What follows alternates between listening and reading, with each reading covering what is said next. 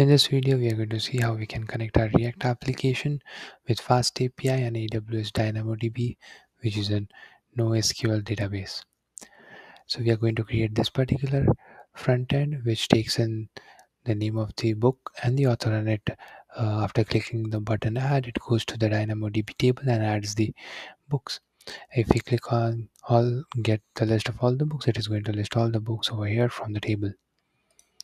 So if you go over here, we can see that the DynamoDB table, DynamoDB database has one table. You can simply create one table by clicking on this button and providing the partition key. In this case, it's a book ID. If I go inside this table right now and explore the items in the table, you can see there are three books right now with unique book IDs. Let's go and check how the application works. So if I click on all the books, it's going to print all the books that are there.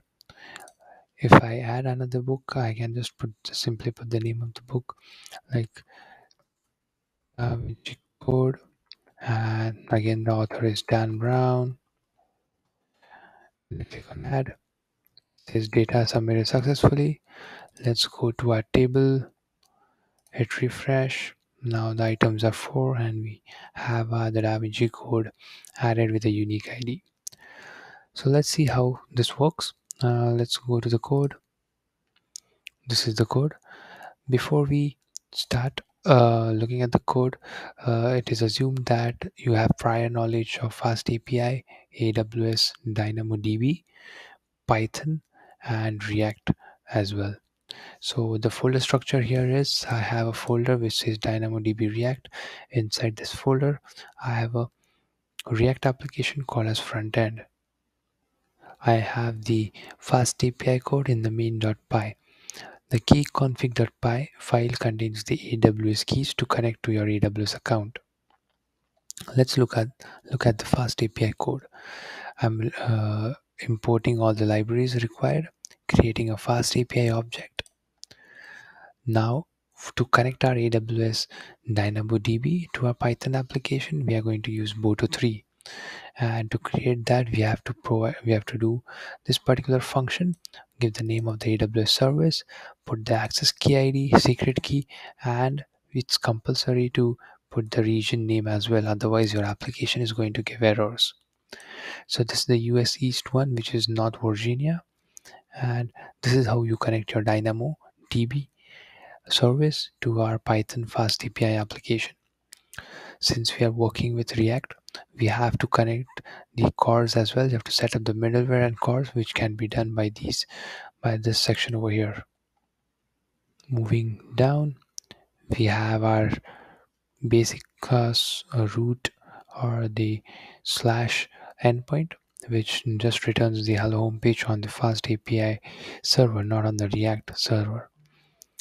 Let's go to the form tag so it uh, this particular function is a uh, fast API post request uh, calling on the URL API endpoint as submit data. In this, we give a dictionary as an input, and then we create, we get the table which we have created on the AWS over there, which is called as books in this case, and this is the uh, variable with which we can access the functionalities of the DynamoDB service. Whatever information is uh, put by the user on the front end is collected in the data. In this case is the name of the author name of the book and the author. To generate a unique id for every entry we are using the uuid library which creates a unique id for every entry which is then stored in the book id uh, entry in the table to, to put the data onto the DynamoDB table, you can simply use the function put underscore item and provide the dictionary that you have created over here with the data given by the user and the item is put on the DynamoDB table.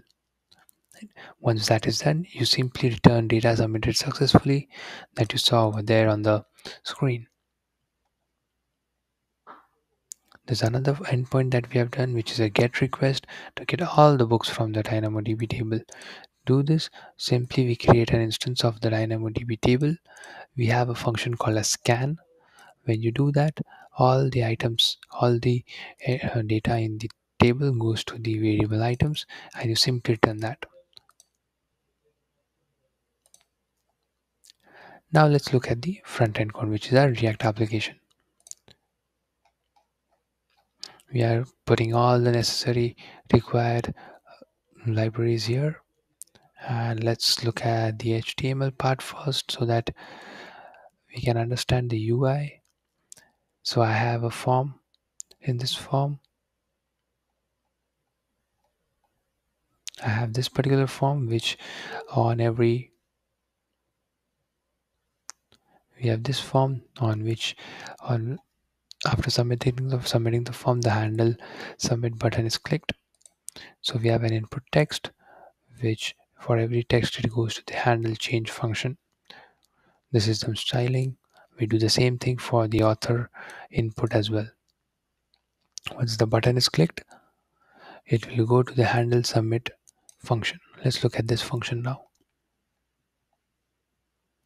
when this particular function is triggered it is going to use the axios library in react which is going to make a post request to the fast api url and then going to the endpoint submit data which we saw earlier in the python application. It will take all the data sent over from sent from the user. And this is also what we see on the console as well once that is done, all the data is sent to the Python function and from there it is sent to the DynamoDB. Similarly, we also have a button for getting for retrieving all the books. Once to that is triggered when the button is clicked and the get all books function is triggered. That particular function is a get request is an axios get request which goes to the get all books function from to the python file. Once that is done we set we have set a variable at the top which is a array and we are putting all the items that are retrieved from the dynamodb to set books. And to display all the items we are using the list list item and the list item text which is a react component and we are going to use the map function for the variable books and we are going to use the index. So if you see the data it is 0 1 2 3 so that is why we have the index over here. And for every item we are going to look at the index.